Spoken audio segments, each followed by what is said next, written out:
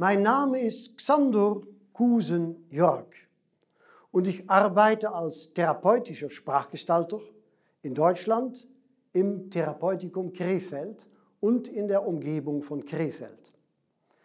Ich möchte euch jetzt eine Artikulationsübung vorstellen und ich habe festgestellt in der Praxis, dass es viel wirksamer ist, wenn man eine Artikulationsübung, die dafür gemeint ist, dass man klarer und deutlicher spricht, begleitet mit Handbewegungen oder Bewegungen von den Beinen und Füßen. Ich mache die Übung erst mit Bewegungen mit den Händen. Zuwider, zwingen, zwar. Zwei, zweckige Zwacker. Zu wenig. Zwanzig Zwerge. Die sehnige Krebse, sicher suchend, schmausen. Das schmatzende Schmachter, schmiegsam. Schnellstens, schnurrig, schnalzen. Ich habe festgestellt, mit 30-jähriger Berufserfahrung, dass es noch wirksamer ist, diese Übung mit den Füßen und mit Fuß- und Beinbewegungen zu machen. Sie verankert sich dadurch noch mehr in die Leiblichkeit und es kommt noch mehr von dem Geübten an in der Alltagssprache. Dann sieht sie so aus. Zuwider, zwingen, zwar. Zwei, zweckige Zwacker.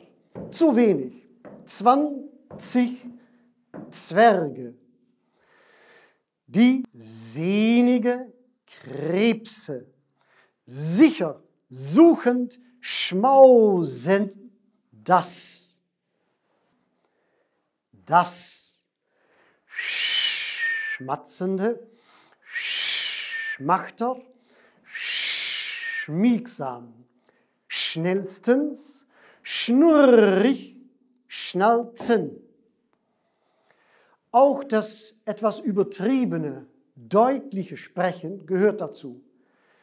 Wie mehr man übertreibt in der Deutlichkeit während des Übens, wie mehr diese Fähigkeit in die Alltagssprache hineinwirkt.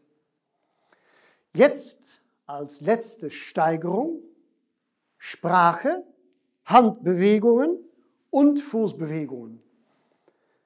Zuwider, zwingen, zwar, zwei, zweckige, zwacker, zu wenig, zwanzig Zwerge.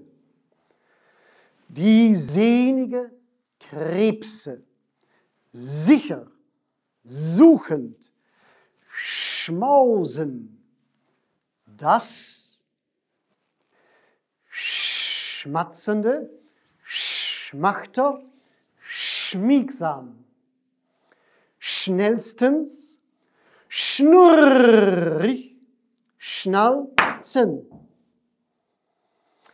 Es braucht ein wenig Geduld und natürlich auch etwas Übzeit, aber es wirkt.